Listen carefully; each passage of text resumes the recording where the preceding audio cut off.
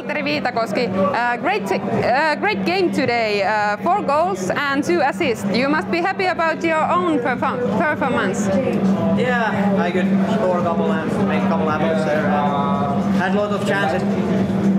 The chance to score six today, but sometimes they don't go in. But happy for the win for the boys. Uh, game was quite thriller uh, until the very end. Uh, what was the key for the victory today? I don't know. It was going back and forth so much. Somehow we managed to find the spirit from there, and yeah, I don't know. That's a key, basically Canadian spirit. Uh, how does it feel to play championships here in Finland? Oh, it's awesome. Like home home country for me, and it's un unbelievable to be playing here, like once in a lifetime situation. So couldn't be happier. Want to say hello to anyone uh, special? Uh, I don't know. Rikelle terkkuja. Yes. Kiitos. Kiitos. Jean-Marc Soreda, uh, two goals and one assist today. Uh, your comments about the game? It was fun, interesting, uh, a lot of hustling on both teams. Uh, could be better with some decisions when depending on how we play. But overall, I think it's good. It's fun. It's been a while since we had this intensity. Yeah. What things you need to improve to the next game? Um, definitely attacking. Yeah. So even though we scored eight goals, I felt that we could have converted a lot more from all the shots we took. Yeah, but yeah, I think mainly offensive would be a big uh, improvement that we need to look at.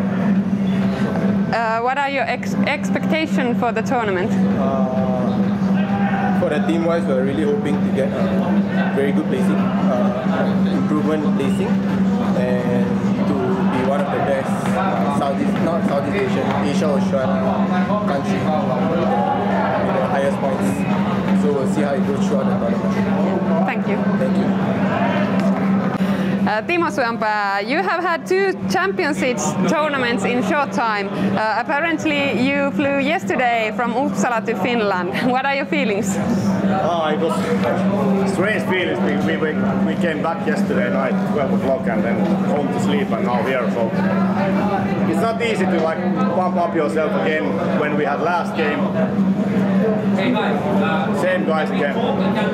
We had the last game yesterday, and now we have to be start a new tournament. It's quite feels quite strange. Uh, earlier, you tell, told in interview that you were positively surprised about the women's team. Uh, what are your expectations for the men's team? I think the grouping for the guys is a little bit easier, so we will see tight game first one. So I have no idea about Philippines and Estonia. I know that they are strong, so but it can go whatever way. So we have expectation, and it's also that we have the chance to get to the World Games.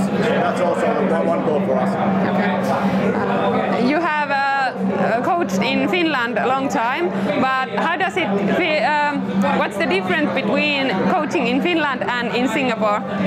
Of course, I have to coach with a different language, but also that I think in Finland the basic knowledge of the tactics and stuff is better with these. They have more emotions and less brains time to time, as you as you saw from the first first game. So I think that that's the biggest difference.